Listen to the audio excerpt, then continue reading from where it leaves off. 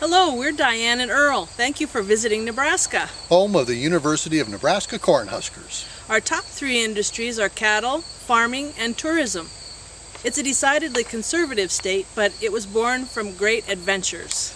Bordered on the east and northeast by the majestic Missouri River, which was explored during the great Lewis and Clark expedition of 1804, It continued its rich history as ranchers and farmers settled in, looking for a new life of independence and faith. That spirit remains today.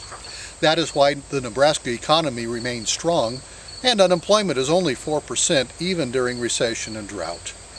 We moved here from Phoenix, Arizona in 2010 looking for that strength of faith and character. The city had grown too big, too fast. Life was just rushing us by. We wanted an all around, healthier lifestyle. We wanted a home where people put faith in God and the care of neighbors ahead of the rat race. We found that and so much more in Nebraska.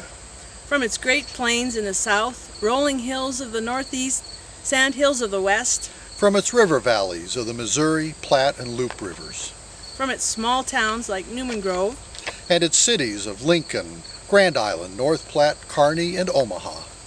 The spirit of Nebraska comes from its good soil, rich history, and strong faith of its people.